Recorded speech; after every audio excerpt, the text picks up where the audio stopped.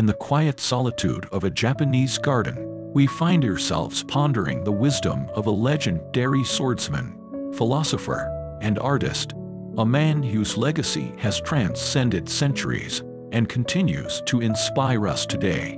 Miyamoto Musashi once said, Think lightly of yourself and deeply of the world. But what does this cryptic statement truly mean?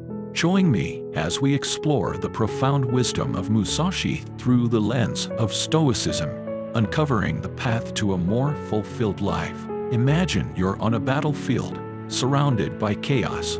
Your very life is at stake, and your adversary is fierce.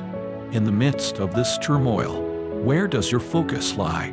Is it on the grandeur of your own ego, or on the world unfolding around you? This question brings us to the heart of Miyamoto Musashi's teaching. Miyamoto Musashi was not just a master swordsman, but a philosopher who lived in 17th century Japan. He penned the Book of Five Rings, a masterpiece on martial strategy, and left us with this invaluable advice. Think lightly of yourself and deeply of the world.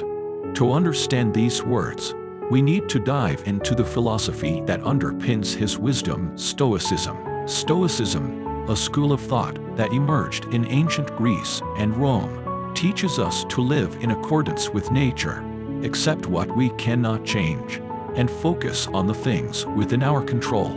It encourages us to see the world from a perspective that transcends our ego, our desires, and our fears.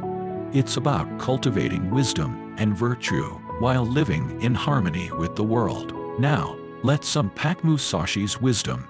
Think lightly of yourself suggests humility, a cornerstone of Stoicism. Humility doesn't mean diminishing your self-worth. It means recognizing that your ego should never overshadow your understanding of the world. When we think lightly of ourselves, we are free to learn, adapt, and grow in our modern world.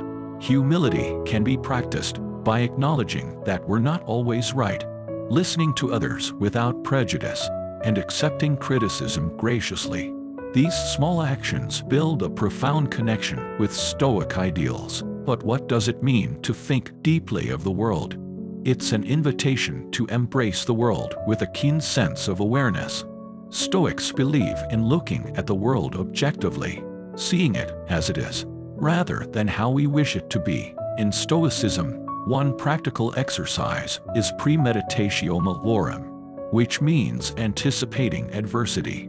By thinking deeply about the world and acknowledging that challenges will arise, we prepare ourselves to face life's uncertainties with resilience and grace. Musashi's timeless message transcends time and culture.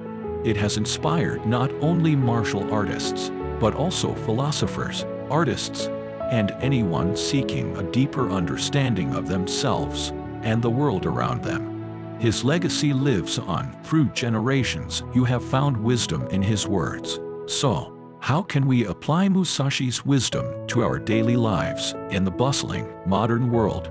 It starts with daily reflection and a commitment to practicing humility and awareness. As Stoics, we understand that our control is limited, but our perspective is boundless. Embrace humility by acknowledging your imperfections, treating others with respect, and being open to growth. Dive deep into the world by observing, questioning, and accepting life's inevitable challenges. The transformation that occurs when you think lightly of yourself and deeply of the world is profound. You'll find yourself more resilient, compassionate, and equipped to navigate the ever-changing currents of life.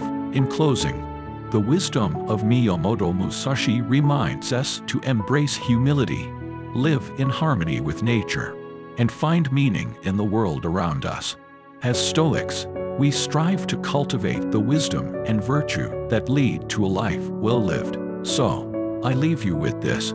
Think lightly of yourself and deeply of the world. By doing so, you will find tranquility and meaning in the most unexpected places, just as the ripples in a serene pond reveal the depth beneath the surface. With that said, thanks for watching, and until next time, Remember that in the spirit of Stoicism, you can embark on a journey of self-discovery and a deeper connection with the world. It's a path that Miyamoto Musashi walked, and one that continues to inspire us today.